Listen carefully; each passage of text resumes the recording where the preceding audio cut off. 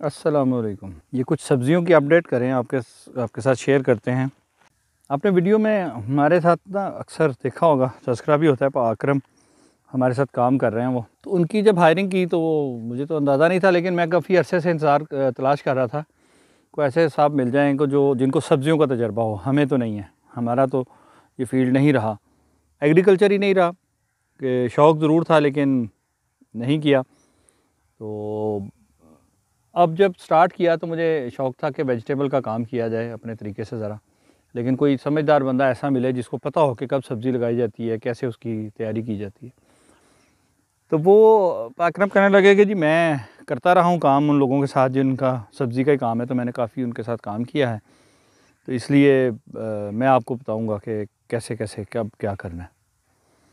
तो पहले तो वो जब हम ऑर्गेनिक कंपोस्ट की बात करते थे तो वो थोड़ा सा उनको डाउट था कि ये कैसे होगा। लेकिन अब वो देख के ये सब्ज़ी और गोभी और ये सारे पौधे देख के वो हैरान होते हैं कि यार इसको कोई यूरिया नहीं डाली, कोई डीएपी नहीं डाली। और ये पौधे तो ऐसे हैं कि अपने आपे से बाहर हुए जा रहे हैं, छलांगे लगा रहे हैं। तो यहाँ ये पूरी लाइन आपको गोभी की और वो भी लगे हुए नज़र आ रहे हैं। ये बड़े पत्ते जो नज़र आ रहे हैं, ये सारे गोभी है। उसके बाद ये देखें ये मटर। तो मटर तो जैसे मैं बता रहा हूँ कि अब हैं तो हम ज़िम्मेदारी कहलाते हैं। ख़ुद तो नहीं किया था, वाले साहब टीचर थे। वो भी उनका शौक़ था, शौकिया जो काम करते थे वही करते थे। अब अभी देखें, ये थोड़ा सा फोकस करें ना इसको। बड़ा खूबसूरत फूल है मटर का। तो लतीफ़ा ये है कि हम चाहे रहते भी छोटा सा शहर है उसमें तो मैट्रिक में थे ना जब पढ़ने नाइन्थ में था मेरा ख्याल है। नाइन्थ में था तो पढ़ने के लिए सेकंड टाइम में दोपहर के बाद ज़रा बाहर को किताब लेके निकल जाना। पीछे खेत थे, बाहर। तो मैंने नाइन्थ में पहली दफ़ा मटर का पौधा देखा और इसका फूल देखा, मुझे बड़ा पसंद आया। तो मैं खुद हैरान होता था कि जी, हैं हम? गाँव के रहने वाले ज़िम्मेदार कहलाते हैं, लेकिन मुझे ख़ुद जो है, वो मटर का पौधा और उसका फूल मैंने नाइन्थ क्लास में आके देखा कि गाँव आना हमारा बहुत कम होता था। अब ये देखिए मल्चिंग कर दी है इन्होंने गोडी करके। तो अब वो पाक्रम कल मुझे कह रहे थे कि जी, अगर हमारे पास उस वक्त पराली होती ना तो ये आपका तरीका बहुत ज़बरदस्त है। हमारा जो ये लेसन है ना, ये बहुत बेहतर होता। है अब इसको गोडी करके फिर खाद डाल के फिर मल्चिंग की है। इससे आगे यहाँ ये आलू है फिर मटर है फिर वो आगे सारे आलू लगे हैं और वो गोभी लगी है। आ, कानून को तोड़ते हुए एक पाँव रख लेते हैं इसके ऊपर। बेड के ऊपर हम पाँव नहीं रखते लेकिन अब ये देखें ये पौधे की शक्ल देख के तो दिल खुश हो जाता है किस तरह माशाल्लाह सेहतमंद पौधे हैं पत्ते हैं। आ, ना तो इनको कोई स्प्रे किया गया है और ना ही इसको कोई खाद, यूरिया डीएपी कीमियाई खाद डाली गई है। लेकिन माशाल्लाह इसको देख के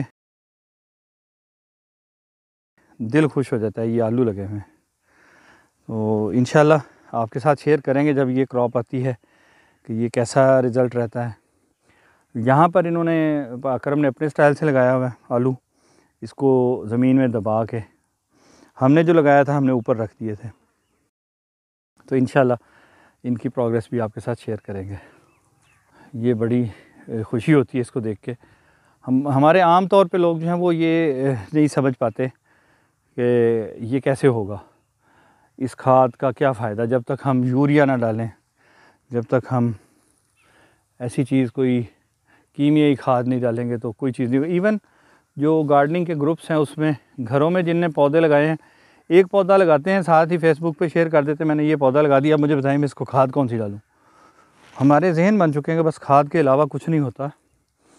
जबकि ये खाद जो है, अगर आप इसको यूरिया की हिस्ट्री पढ़ना चाहें सर्च करें तो आप हैरान रह जाएँगे कि ये तो सेकेंड वर्ल्ड वार में मेरा ख्याल है। हाँ जी। इसके तौर पर बॉम्बिंग के लिए और नुकसान करने के लिए ये बनाया गया था, इस इस, इसकी, इससे बॉम्बिंग करते थे। और वो जब बच गई तो उसको समझ नहीं आ रही थी कैसा, कहाँ ज़ाया किया जाए। तो किसी एक जगह पे कहीं गिरी और वहाँ पर घास जो है वो ज़्यादा ग्रीन हो गई और उन्होंने जब देखा कि अच्छा ये तो पौधों को, इसको खाद का इस्तेमाल शुरू हो गया। अब हमारे यहाँ पर ऐसे बुज़ुर्ग मौजूद हैं जो हमें ये बताते हैं कि जब ये यूरिया खाद आई है, महकमा प्रमोट करता था कि खाद डालें। लोग खाद नहीं डालते थे। तो महकमे को, जो महकमा ज़रात है, उसको टारगेट थे कि जी आपने ये इस्तेमाल करवानी है ताकि लोगों को पता चले कि इसका फ़ायदा क्या है। वो लोग कहते हैं कि रात को छुप के महकमा ज़रात वाले लोगों के खेतों में आके तो यूरिया खाद का छट्टा कर जाते थे। जिसको पता चलता था वो नाराज़ होता था, लेकिन वो छुप के करते थे ताकि लोगों को रिज़ल्ट पता चले कि इसका कोई फ़ायदा है। हमारे यहाँ लोग बिल्कुल भी इसको इस्तेमाल करना पसंद नहीं करते थे। और फिर जब देखा कि इससे एक पैदावार ज़्यादा होती है तो फिर सब लोग इस्तेमाल करना शुरू हो गए। और बल्कि अगर आप देखें तो ये उस दिन मैं एक वीडियो छोटी सी देख रहा था मुझे अब याद नहीं है कि वो पहाड़ों पे जो आर्टिफिशियल एवलॉन्च क्रिएट करते हैं डॉक्यूमेंट्री थी कि आर्टिफिशियल एवलॉन्च जो है ना वो क्रिएट करते हैं। और वो आधी आधी बोरी यूरिया हेलीकॉप्टर पे रख के और वो फिर वो जाते हैं ऊपर और ऊपर से वो फेंकते हैं। फिर उसको दिखाया उन्होंने कि किस तरह वो ब्लास्ट होता है और फिर वहाँ से वो एवलॉन्च बनती है। कुछ एरियाज़ हैं जहाँ पर। तो चूँ एक, आम आदमी के लिए वैसे मुझे पता चलता तो मेरे लिए हैरत का बहुत ज़्यादा हैरत होती।